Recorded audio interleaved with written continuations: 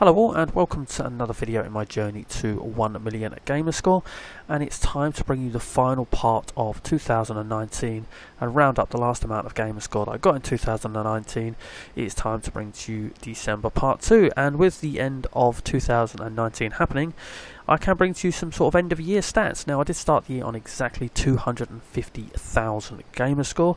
Minus 40 I got today on the date of recording uh, we'll get to why I did that in a minute. And I have earned the most gamer score I've ever in a year. I've earned 200,520 gamer score in a year, which is a new personal best. So how did I get it? Well, I got it playing 286 games. 170 of those were completions, and I earned a total of 4,384 achievements in the process. So all in all not a bad year at all. Very pleased with that, especially as it kind of slowed up a little bit towards the end. I did start off very well.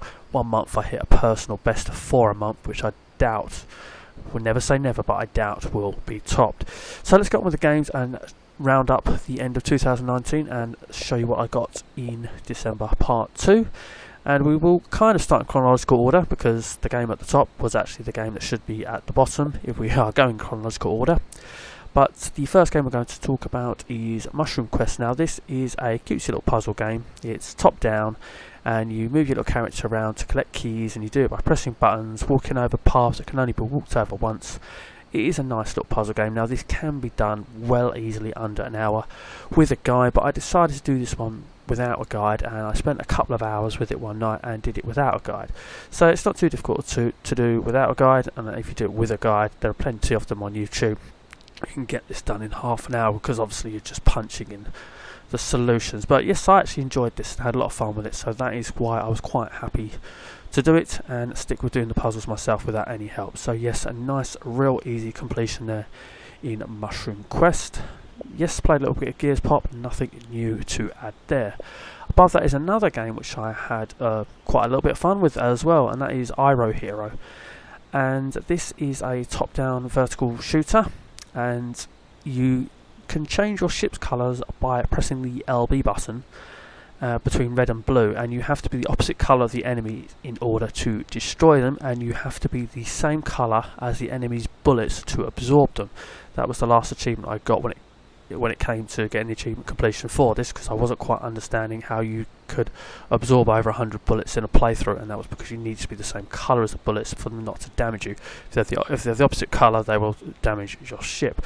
Now this is a real easy completion. You will need to get to the second level of story mode in order to face a certain type of enemy which you need to kill for an achievement but this one can be done in no time at all. It's certainly in under an hour jobby. You might struggle with the first world boss a bit perhaps and need a few run throughs there but the one thing I did notice about this game is that within about a minute maybe even two minutes of playing I'd, I'd unlocked 200 G's like off the bat straight away from the very generous easy achievements that you can get out of this but it's not a difficult completion at all it's not an expensive game either so it's definitely a good little one to boost the game score and it was fun too it was not a chore Okay, above that is Trivial Pursuit Live. This is one that's been in my back catalogue for quite some time. I found it just quite easy to sit down and play without any real effort for a while.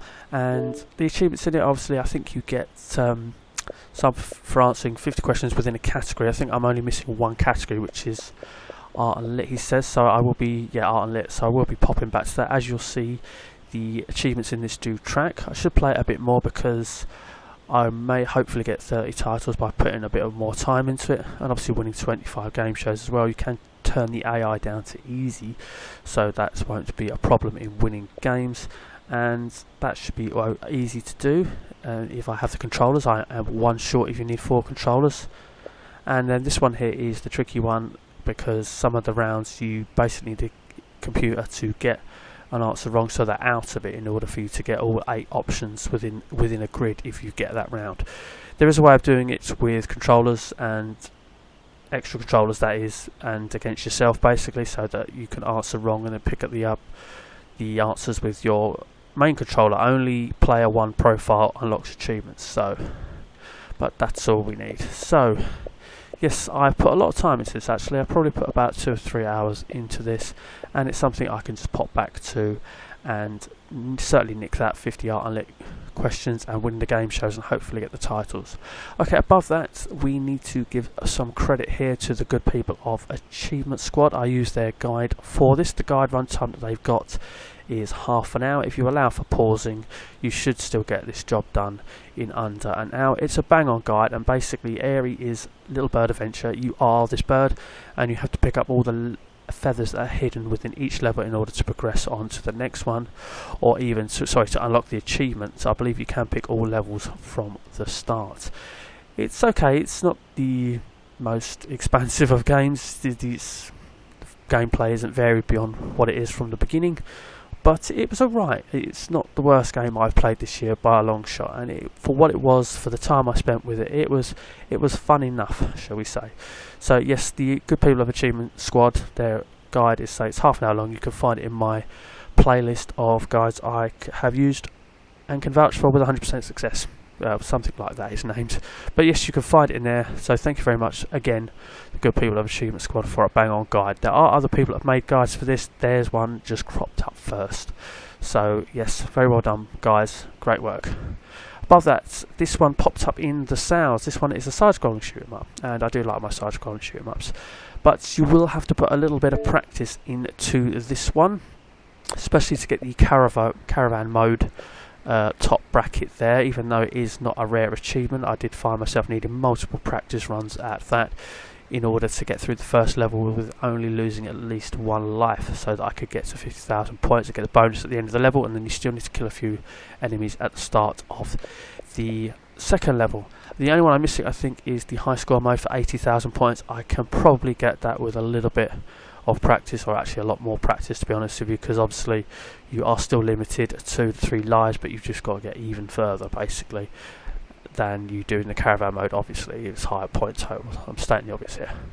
So the other thing to note is that the top bracket in the normal mode, the original mode, is there is it's 400,000 points.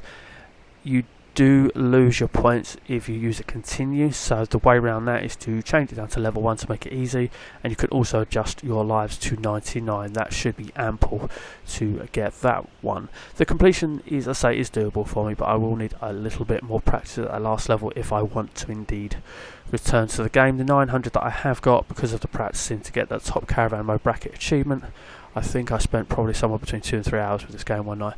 But I like my side scroll and shoot 'em up, so it wasn't a chore for me. Okay, so above that we have Pixel Devil and the Broken Cartridge. Now, I'd heard this was an easy completion. None of the achievements are rare. What I have got was frustrating. I found the platforming in this very the hit detection and basically the, the, the quality of the platforming is just not as polished. I mean, I know it's an indie game, but it's it's it's way off me. It wasn't fun at all, unfortunately. And the two that I'm missing, I will probably leave now because it will take me a while to earn them, and they are for defeat five different bosses, and that achievement there is for defeating the final boss as well, which is in the middle islands that you unlock after you do all the other four islands. And apart from that, these PD coins are absolutely littered everywhere, so they are super easy as well. That will be one of the first achievements you get. When you kill enemies, sometimes they drop health. Pick one of those up, you'll unlock that. I mean, what I did do, what I did get, sorry, without going for those last two, that 700, they did take me a couple of hours, and to be honest with you, I'm done with it. I, I'm not enjoying it enough to go back and, and grind that out. Okay, next up we have Himno. Now this is a Ratalaika game that's been out for a while that I'd missed. And as I say, I did actually intend, by the way, to carry on my PES cheap game experiment, which is why we will talk about one in a minute. But because I was approaching the 450,000 mark and 200,000k game score for the year, as you can see, I veered away from that and and targeted some easy completions and some easy gamer score quickly in about three or four days that I had left, purely because I, I'd went away on holiday, so I'd lose about four to five days worth of gaming. So that's why I did this, people. But the PES games will return at the beginning of next year. In fact, they already have a little bit. We'll talk about that in a second. But anyway, Himno. Very easy completion. You have to basically get to six districts, I think it is, in one run. I think to unlock one achievement, you have to jump quite high in one level. I think 60 feet in the air one level to get another achievement and you have to jump so many times, dash so many times, visit 30 different districts. That doesn't have to be one playthrough, but when I was going for it and just amassing them by getting as many as I can, then when I, I died, uh, and starting again. I then read an achievement guide on true achievements for the individual achievement. Apparently, you can just go in and out of one door 30 times. So I started doing that, and I was only three out when I did it. So the solution on true achievements for that one does work.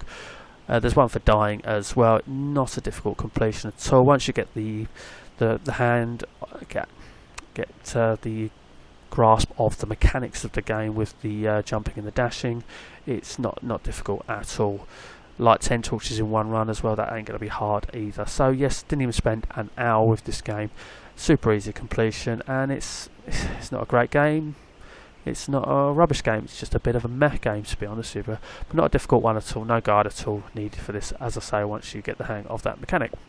Okay, above that is a game I picked up in the sale about a month ago or so that has been sitting there a while, Quantic Pinball. Now this was actually a lot of fun. I bought it at the same time as I bought that zombie pinball game from uh, a couple of videos ago and I basically have all the achievements in this game that aren't rare. The two I am missing that are rare are worth 140 each and are difficult.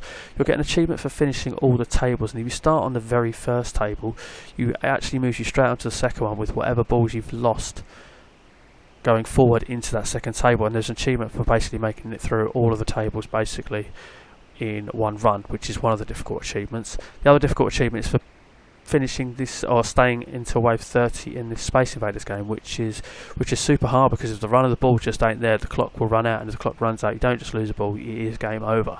So sadly, that one is difficult as well as suggested there by the low percentage unlock rate. But they, as you'll see, I unlocked the table, unlock table, complete that table. Um, this little feature comes up during the table sometimes where you control a little cannon and you have to shoot the space invaders to come down the table. And you manage to do that, or kill them all as it says there you'll get this achievement here. That's not too difficult at all. Complete the Delver table. Unlock all tables. Now the good thing about this is if you're struggling with a table it says on the table to unlock this table either beat the previous one or just play the previous one 10 times. So if you are struggling you will you will just unlock it unlock them by playing them and get a nice 100 G achievement. Uh, complete that table as well Trigger multi-ball in the special level, that's that Space Invaders one where you have to try and get to wave 30. And if you want to get that amount of score in one level, I suggest you keep practicing that Space Invaders sort of side game because that is very generous on the points and that is where that one unlocks. I had a little break from that because I was struggling with the final table and then I was able to beat the final table and get 720 out of 1000 G, uh, leaving the two difficult achievements behind. And to be honest with you, I did all that in a couple of hours, so it's quite friendly and quite generous actually with that 720 if you're just prepared to play enjoy the pinball you know except sometimes the run of the ball doesn't go for you and yeah have a little bit of skill and timing and that's about it. I didn't really know how to get beyond the table um, with regards to what unlocks the ramp to get out of there but it, it eventually it did just happen. Okay so above that we have PES 2013 and I did say at the end of my last video when I'd only locked two very basic achievements that I would do a little bit more towards this and obviously I have. I decided after I got these two achievements here to then win the Champions League which unlocked that 60G and then I decided to do the Copa Santander Libertadores as well and win that. I had actually just made it through the round 16 and not won it as you'll see that unlocked today the 1st of January 2020 and that is for a reason. Uh, one of my goals for next year is what that has been the only achievement I've unlocked today. I haven't had a lot of time. Unfortunately, I did go out last night. Yes, I am a little worse for wear. But so yes, so I was going to say the Copa Santander Libertadores has its own game mode. You don't have to enter a league or anything like that, and so does the Champions League. They both have their own modes. So this morning or this evening even, I just this morning I decided that my target for this year for this year 2020 is to unlock at least one achievement a day. I mean I was well on for that and towards the latter part of the year in 2019, but this year I really want to do it, and that will also keep me focused on my gamer score. And making sure that I get a little bit of game time in with what has to now be daily. So, knowing that I hadn't quite unlocked that achievement for winning that cup, I decided to do that today and play about five more games. I was in the quarterfinals, everything's two legs, even the final was two legs, so it was six games I needed to win today. So, we did that today, unlocked that 40G achievement, which is rare as well, which that surprises me. And that is my achievement for January the 1st. And yes, I'll be playing every day and trying to lock achievement every day for the remainder of the year. I'm saying that in the very first day of it, isn't that? Isn't that quite funny? Okay, so ladies and gentlemen, that does bring me to the end of rounding up 2019 now. Um, just want to thank everyone for coming along and being part of the journey. A lot of people decided to follow me on Xbox Live. My subscriber count has gone up. These videos, they get over 100 views now every time nearly, which totally flatters me. I'm absolutely chuffed to bits with that. So it's just a big thank you to everyone that's watched, commented, liked, asked a question, followed me on Xbox, subscribed to me here, maybe hit the notification bell, done all of that. Literally, I've enjoyed myself so much, and as I say, I get a buzz out of getting gamer score, and I get just as much buzz helping other people get gamer score. It is just a little bit of a kick for me in my gaming. So, ladies and gentlemen, that does just leave me to thank you very much for watching, and as always, take care.